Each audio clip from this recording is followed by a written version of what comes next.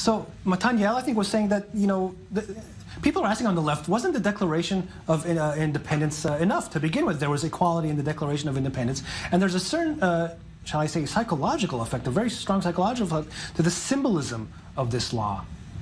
Well, first of all, when we are talking about uh, civil rights or human rights, uh, we must give respect to Israel, a state of light in a very dark and violent area.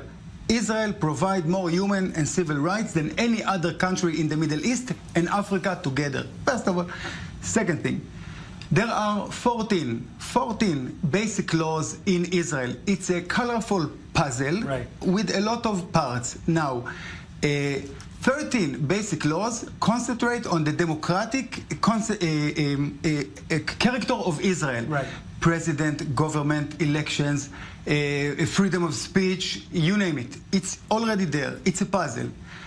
The, so it's 13 basic laws of, about the democratic uh, character of Israel. So it's okay one, to have, and one that isn't democratic. And one is about the Jewish, democ, uh, Jewish uh, character of Israel. Now okay. let's not forget, Again, it's which, a puzzle. It's like you which will, makes you it less take, democratic, doesn't it? You will take a, a, a, blue part, put it on a colorful puzzle, and claim that the puzzle is blue. It's a it's a it's a joke.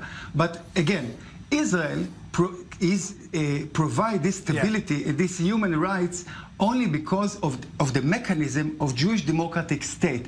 Without Israel being a Jewish state, it will not stay democratic state. It will not stay Israel at all. This Without is a fact.